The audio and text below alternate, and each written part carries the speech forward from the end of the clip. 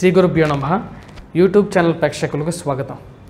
మన ద- ద్వాదశ రాశుల మీద గ్రహ ప్రభావాలు ఎటువంటి ఫలితాన్ని చూపిస్తున్నాయి?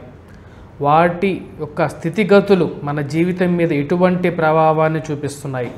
వాటి తెలుసుకోవటం కోసం ఈ యొక్క గ్రహస్థితుల గురించి వివరించడానికి నేను వచ్చాను.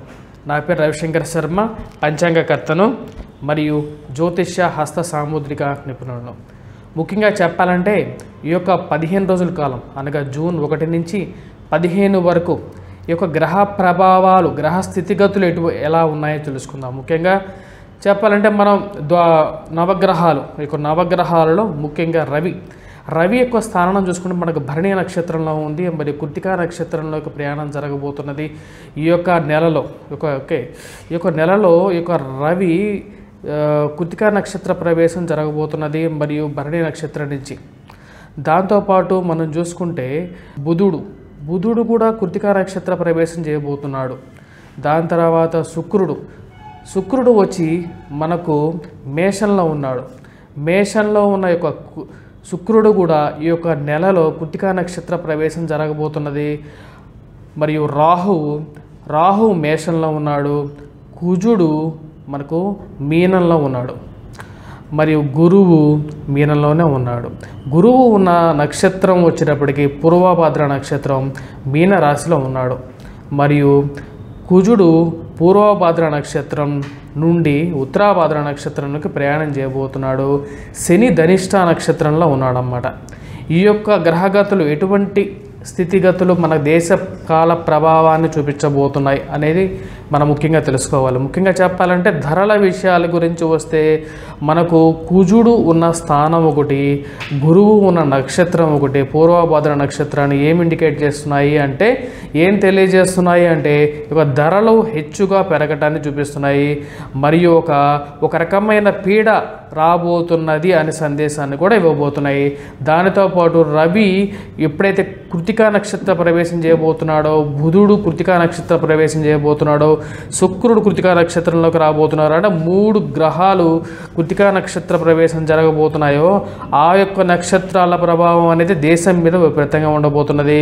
ముఖ్యంగా చెప్పాలంటే అనుకోని ఒక పెను ప్రమాదం ఉపద్రవం అనేది రాబోతున్నది అనేది సంకేతాన్ని క్లియర్గా ఇస్తున్నాయి అన్నమాట. ఈ యొక్క ధరల హెచ్చులు అనేది విపరీతంగా పెరగబోతున్నాయి. మరియు అనుకూల వర్షాలు కాకుండా చెప్ప చెప్పదగినటువంటి చెప్పకూడనటువంటి అంటే ఇంప్రాపర్ రైన్స్ అన్నమాట. అంటే అనుకూల అనుకూలతం లేనటువంటి రైన్ వర్షాలనే పడబోతున్నాయి. ఈ యొక్క ధాన్యాన్ని ధరలు విపరీతంగా పెరిగే విధంగా కూడా చూపించడానికి క్లియర్గా మన యొక్క శుక్రుడు బుధుడు రవి యొక్క కుటికా నక్షత్ర ప్రవేశం అనేది ఈ యొక్క ఫలితాన్ని క్లియర్గా చూపిస్తున్నది. సో మనం ఇప్పుడు మనకు ద్వాదశ రాశుల మీద యొక్క స్థితిగతులు ఎటువంటి ప్రభావాన్ని చూపించబోతున్నాయి? మన మీద అని చెప్పి మనం తెలుసుకుందాం ముఖ్యంగా మిథున రాశి. మిథున రాశి జాతకులకి ఈ యొక్క పదిహేను రోజుల కాలం అనగా జూన్ ఒకటి ఒకటి నుంచి పదిహేను రోజుల వరకు ఎలా ఉందో మనం తెలుసుకుందాం. ముఖ్యంగా చెప్పాలంటే లగ్నాధిపతి వీరికి వేయంలో ఉన్నాడనమాట అంటే లా లగ్నాధిపతి వేయంలో ఉంటే జనరల్గా ఏం జరుగుతుందంటే ఆరోగ్య విషయంలో వీరికి చీకు చికాకులు ఎక్కువగా ఉంటాయన్నమాట. దాంతోపాటు ధన సంబంధిత విషయాల్లో కూడా ఎందుకంటే ఆయన చతుర్థాధిపతి ప్లస్ లగ్నాధిపతి సొంత గృహ కొనుగోలుల విషయంలో కూడా వీరికి ప్రాబ్లం ఉంటుంది. తల్లి తల్లి ఆరోగ్య విషయంలో కూడా ప్రాబ్లమాటిక్గా ఉంటుంది. ప్లస్ ఒక బుధుడు ఎవరైతే లగ్నాధిపతి ఉన్నాడో చతుర్థాధిపతి ఉన్నాడో ఆయన పన్నెండో ఇంట్లో ఉన్నాడు ప్లస్ కృతికా నక్షత్ర ప్రవేశం కూడా చేయబోతున్నాడు అనమాట సో కాబట్టి ఈ యొక్క మిథున లగ్న జాతకులు ఎవరైతే ఉన్నారో కొంచెం జాగ్రత్తగా ఉండటం అనేది ఆల్వేస్ ఈజ్ ఎ బెటర్ అనమాట ఎందుకంటే వీరికి దాంతోపాటు వీరి జాతకంలో తృతీయాధిపతి అంటే బాతృ సంబంధిత విషయాలు ఏవైతే ఉన్నాయో అంటే బ్రదర్ రిలేటెడ్ ఇష్యూస్ కానీ లేకుండా ఉంటే చెల్లెలకు సంబంధించిన విషయాలు ఏవైతే ఉన్నాయో బాతృకా ఆర్ బా భాతృ అంటే తల్లి చెల్లెలు కానీ లేకుండా ఉంటే తమ్ముడు కానీ లేకపోతే ఉంటే అన్న కానీ అన్నమాట. ఈ యొక్క విషయాల్లో కొంచెం ఆచిచూచి వ్యవహరించాలన్నమాట. ఎంత తమ్ముడైనా సరే అన్నైనా సరే ఒకటికి రెండు సార్లు అంటే వాడి వల్ల మనకి ఎటువంటి ప్రాబ్లం రాకుండా ఉండడానికి మనం తగిన జాగ్రత్త అనేది కంపల్సరీగా తీసుకోవాలి. సొంత ఇల్లు కొనుగోలు ఏదైతే మీరు అది వెయిట్ చేస్తున్నారో అది నెరవేరడానికి ఇంకా టైం పట్టేటట్టుగా ఉంది. అది కొంచెం టైం తీసుకొని కరెక్ట్గా తీసుకోండి. లేకపోతే మధ్యలో ఎక్కడ చోట మీరు ఇరుక్కుపోవటం జరుగుతుంది. అంటే మీరు డబ్బులు కట్టి ఆ ఇల్లు రాక ఆ యొక్క మధ్యలో ఇరుక్కుపోయే స్థితిగతులకి మీరు వాళ్ళకు అలాంటి ఒక స్థితికి మీరు వెళ్ళొద్దని చెప్పేది ముఖ్యమైన సూచనగా చెప్పబడుతుంది. మరియు ఈ యొక్క మిథు మిథున లగ్నం ఏదైతే ఉందో మిథున లగ్నంలో పదకొండో ఇంట్లో శుక్రుడు ఉన్నాడు అన్నమాట. లాభంలో శుక్రుడు ఉన్నాడు సో శుక్రుడు ఎవరైతే పదకొండు ఇంట్లో ఉన్నాడు కాబట్టి వీరికి ముఖ్యంగా చెప్పాలంటే వ్యాపార సంబంధిత విషయాలు ఎవరైతే స్పెషల్గా చెప్పాలంటే వ్యాపారంలో కూడా ఈ యొక్క సుగంధ ద్రవ్యాలకి మరియు ఒక బట్టల దుకాణాలు వ్యాపారస్తులు ఎవరైతే ఉన్నారో వారికి చాలా చాలా బాగుంటుంది. రాహు సంబంధిత విషయాలు పదకొండో పదకొండో ఇంట్లో ఉన్న రాహు వచ్చేటప్పుడు వీళ్ళకి మనస్పర్ధలు క్రియేట్ చేసే విధంగా ఉంటుంది. మిస్అండర్స్టాండింగ్స్ ఎక్కువగా క్రియేట్ అవుతాయి. దాని తర్వాత భార్యాభర్తలు కూడా కొద్దిగా జాగ్రత్తగా ఉండటం అనేది ముఖ్యమైన విషయంగా చెప్పబడుతుంది.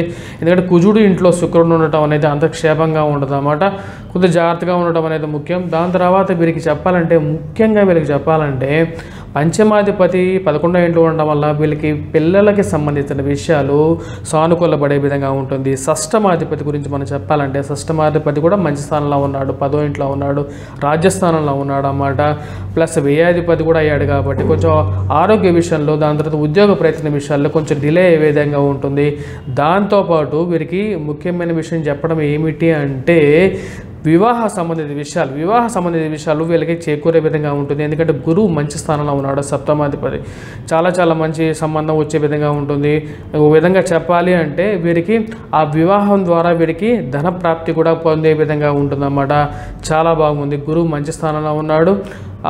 గురువు కూడా పూర్వభద్ర నక్షత్రంలో ఉన్నాడు ఉత్తరాభద్ర నక్షత్రంలో. ముఖ్యంగా చెప్పాలంటే పూర్వభద్ర నక్షత్రం వాళ్ళకి చాలా చాలా బాగుంటుంది. ఉత్తరాభద్ర నక్షత్ర ప్రవేశం కూడా జరగబోతున్నది. సో ఒక గురువు ఉత్తరాభద్ర నక్షత్రం అనేది చాలా బాగుంటుంది. ఇంకా చెప్పాలంటే ఆ దేశ బాల పరిస్థితులను బట్టేసేసి గురువు ఉత్తరాభద్ర నక్షత్రం ప్రయాణం అనేది చాలా మంచిది అన్నమాట రిమైనింగ్ చెప్పాలంటే తదుపరి చెప్పాలంటే మనం ముఖ్యంగా చెప్పాలంటే ఆరోగ్య విషయంకి వచ్చేటప్పటికి ఆరోగ్య విషయంకి వచ్చేటప్పటికి ఈ యొక్క జా- ఎవరైతే మిథున లగ్నం వాళ్ళు ఉన్నారో వారు ఎవరైతే ఉన్నారో వారికి ఆరోగ్యం విషయం కొంచెం కొంచెం ఇంప్రూవ్మెంట్ అనేది పెరిగే విధంగా కూడా కనబడుతున్నది ఉద్యోగ ప్రయత్నం కూడా ఏవైతే చేస్తున్నారో ఉద్యోగం సంబంధిత విషయాలు పాజిటివ్గా ఉండే విధంగా ఉంది. ఈ యొక్క పదిహేను రోజుల కాలంలో గట్టిగా మనోబలంతో వీళ్ళకి మనో ఎందుకంటే మనోబలం అనేది ముఖ్యం. మనోబలాన్ని కోల్పోకూడదు. ఎందుకంటే బుధుడు పన్నెండో ఇంట్లో ఉన్నాడు కాబట్టి కొంచెం మానసికంగా బలాన్ని చేకూర్చుకొని ప్రయత్నిస్తే సాధించలేదంటూ ఏది లేదు అనే విధంగా ముందుకెళ్ళడం అనేది ముఖ్యమైన సూచనగా చెప్పబడుతుంది. ఈ యొక్క రాశివారు రాశి వారు ముఖ్యంగా వచ్చేటప్పటికి బుధుడిని ఎక్కువగా ప్రయోజించడం ఎందుకంటే లగ్నాధిపతి సరిగా లేడు కాబట్టి లగ్నాధిపతిని పూజించడం అనేది ముఖ్యమైన సూచనగా చెప్పబడుతుంది. మరియు రవి అంటే ఆదిత్య హృదయం చదవటం సూర్య నారాయణను పూజించడం అనేది ముఖ్యమైన సూచనగా చెప్పబడుతుంది. స్వస్తి. ఇలాంటి మరిన్ని సరికొత్త వీడియోల కోసం ఛానల్ని సబ్స్క్రైబ్ చేయండి. అలాగే ఇక్కడ ఉండే ఈ గంట సింబల్ని క్లిక్ చేయండి. మేము అప్డేట్ చేసే ప్రతి వీడియో నోటిఫికేషన్స్ మీకు వచ్చేస్తాయి.